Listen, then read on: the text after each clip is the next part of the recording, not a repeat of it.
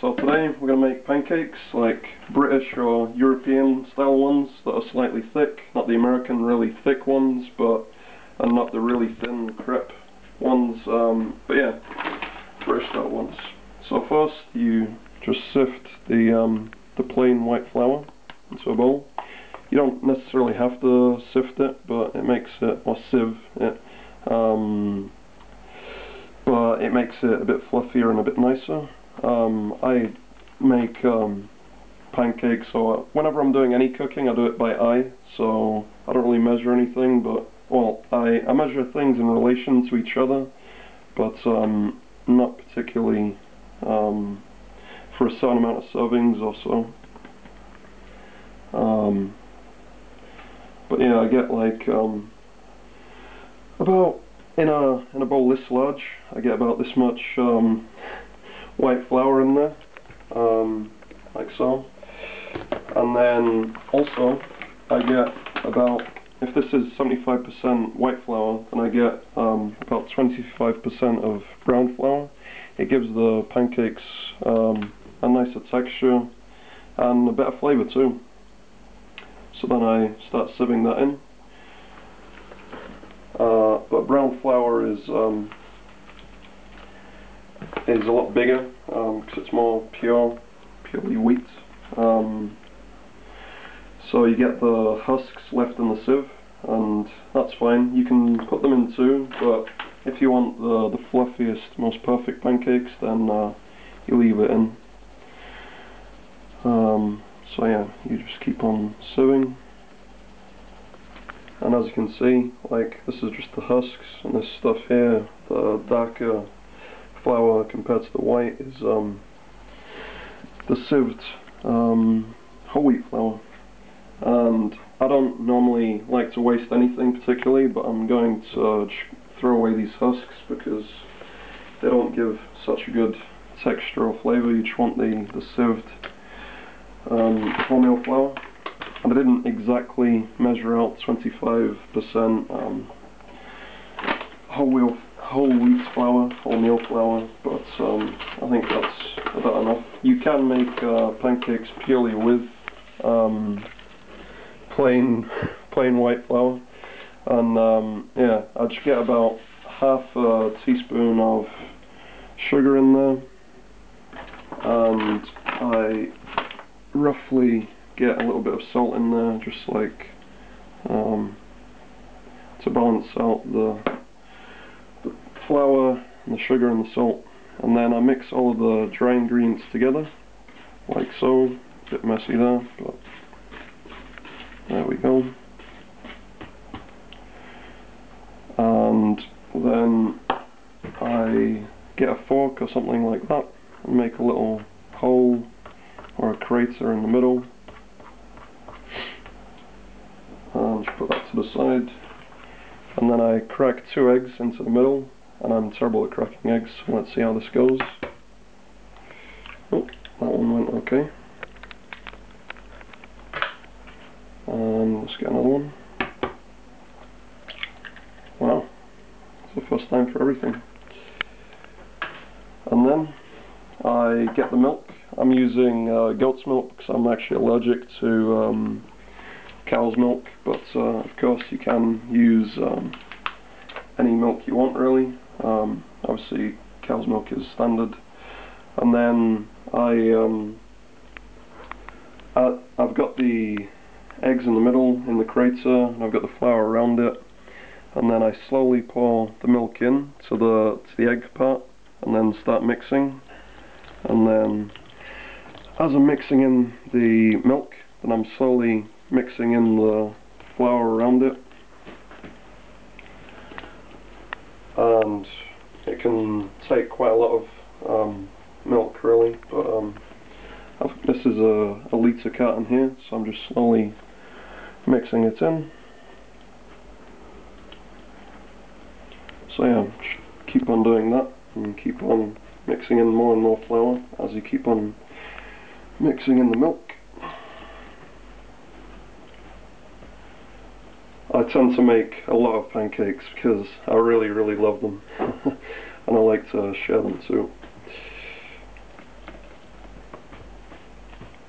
and because I make so much then uh, sometimes I might even use more than a litre of milk.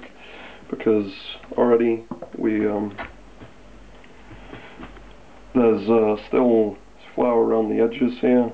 And um, it needs to all be mixed in. And you want a, a nice um, a nice mixture basically. It's the first time I've made a video like this so a bit nervous even though it's just pancake making. Yeah I am. Um, the consistency as my lovely cameraman told me. Um, you have to get the consistency just right and you have to keep on mixing in, mixing in the flour until it's all completely mixed in and like you can like scrape around the edges to make sure it's all in there.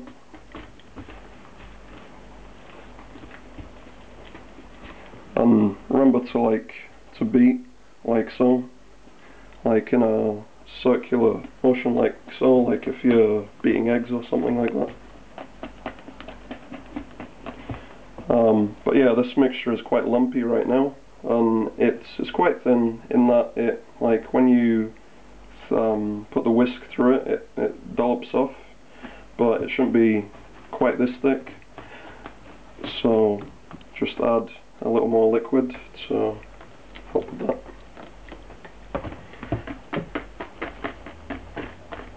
And then just keep on beating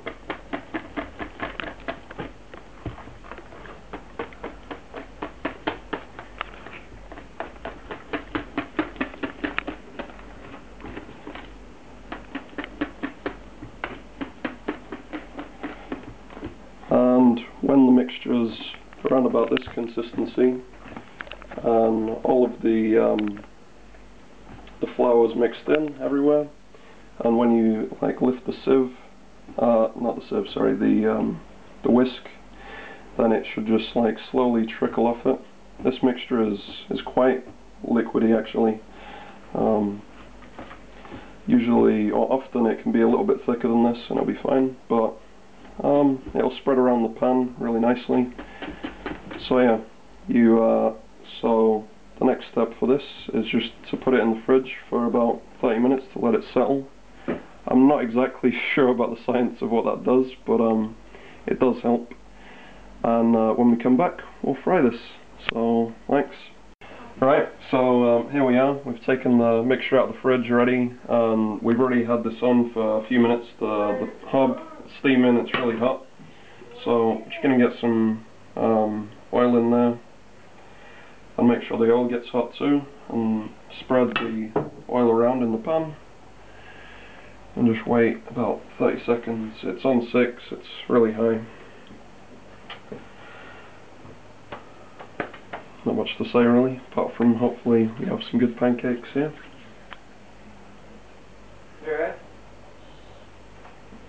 Um, but yeah, yeah, so we've got a ladle, and we get the pancake mixture in a ladle, and we uh, angle the, the pan so we don't get any drips, and then drop them in, and then like rotate the pan around so that um, the mixture um, spreads out.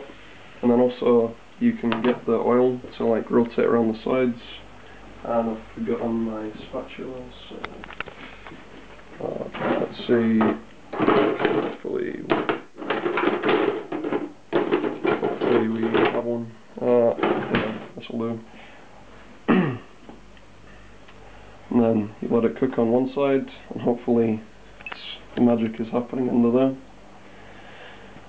but if it isn't, um, then there's a lot of English myths saying the first pancake's always terrible, but yeah, then we can um, uh, change the mixture a little bit to make sure it is, but let's see.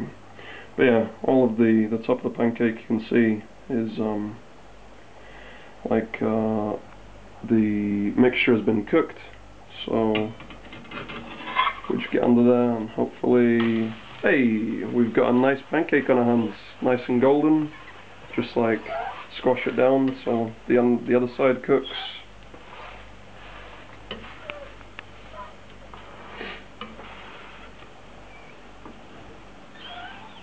And it makes ridiculous sounds when you push it down but then let it cook on the other side for about a minute or so but you can like you can like flip up the sides a little bit to just check. And my phone is ringing so I'm just going to cancel that and ring them back in a moment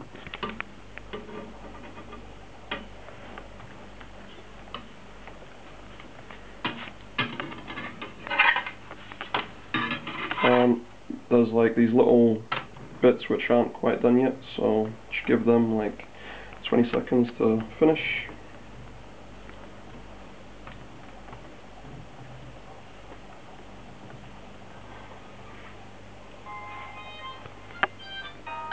And this again. And yeah it's done. So oop, it's uh, ripping a little bit but there we go and we just get some classic British topping is sugar and lemon so just whack some of that on it's quite a lot actually. Uh, and some lemon. And it's ready to eat. So yeah that's how to make great pancakes